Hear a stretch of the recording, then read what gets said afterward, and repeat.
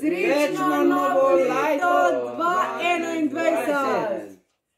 Tako, mi vam bomo um, zaigrali en lep komat in to so naše lepe želje za vse nas in za vse vas. Želimo vam res ogromno ljubezni, ljubezni, miru, uh, veselja, smeha, zdravja in um, res, mejmo se radi, to je najbolj pomembno. Zdaj bomo pa zaigrali en uh, znan komat, ampak na tradicionalne inštrumente iz Madagaskarja.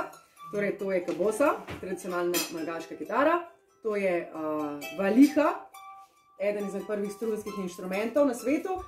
In pa naš dragi Kiraku bo igral zelo posebne krice, krice. Uh, pa še to povem, da smo pesem zvadili pred 15 minutami, tako da bo bolj improvizacija, ampak pomembno je, uh, pomembno je srce. To je to. Smo?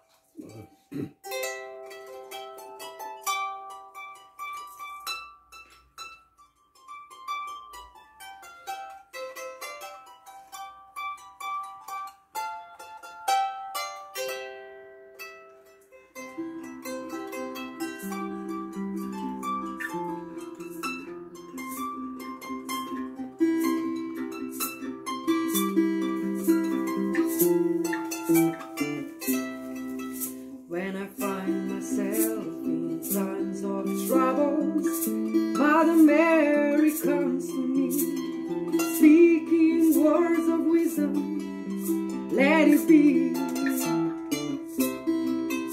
And in my hour of darkness, she's standing right in front of me, speaking words of wisdom. Let it be.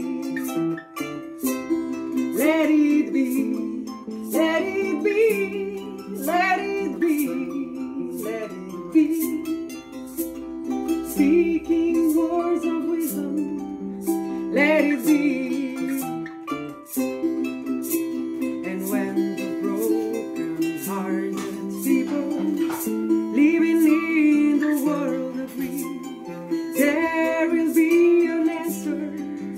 Let it be.